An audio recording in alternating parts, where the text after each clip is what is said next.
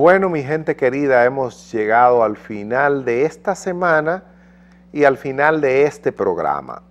Muy agradecidos nosotros, Edith y yo, por todo el calor que ustedes nos dan, con la invitación de que el lunes nos acompañen de nuevo y vamos a dejarles como siempre con una historia. Ayer el señor Gustavo Montalvo anunciaba que en dos semanas comienzan las reuniones para llegar a un pacto eléctrico.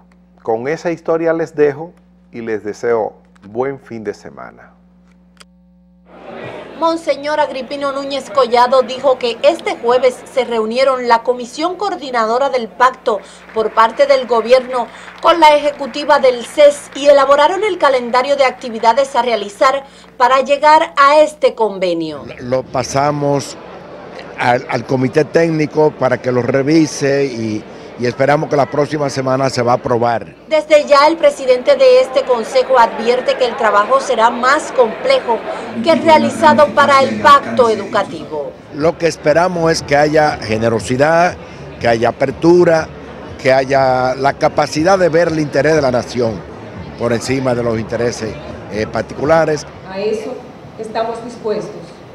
Unificar voluntades, actuar en concierto buscando soluciones. Este compromiso fue planteado por los industriales en el almuerzo anual de la Asociación de Industrias, encabezado por el presidente Danilo Medina, donde el orador principal dijo que el tema eléctrico es uno de los tres principales sectores a atender para la competitividad.